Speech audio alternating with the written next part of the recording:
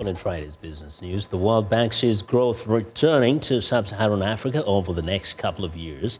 Uh, for more details, Africa 54 business correspondent Jill Malandrino reports from the NASDAQ market site in New York. The World Bank issued a report this week and it expects economic growth in sub-Saharan Africa to rise between 2017 and 2019.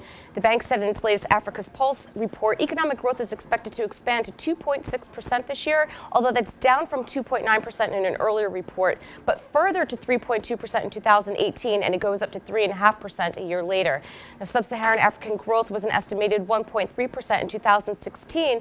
The World Bank said that the worst for the region in more than two decades was really hurt by poor performance performance in Nigeria, South Africa, and Angola. This was largely due to external developments, low commodity prices, and difficult domestic conditions. For example, Nigeria actually contracted 1.5% due to tight liquidity and CBN policy, delays in the budget, and militant attacks on oil pipelines. Now, excluding those three countries, growth in the region was estimated to be 4.1% in 2016. Cote d'Ivoire, Ethiopia, Kenya, Mali, Rwanda, Senegal, and Tanzania, they were all highlighted for continuing to show economic resilience. So, why does the World Bank see an uptick in economic growth a few years out? An upturn in economic activity is expected to continue 2018-19, reflecting improvements in commodity prices and a pickup in global growth and more supportive domestic conditions should support economic expansion in sub-Saharan Africa. That said, even though the region is showing signs of slow recovery, growth is only expected to rise slightly above population growth.